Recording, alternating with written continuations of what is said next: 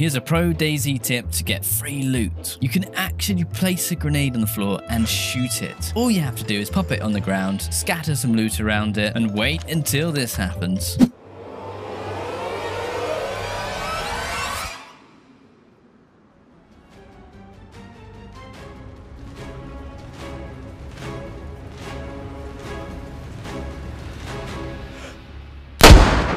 Like for more daily DayZ tips.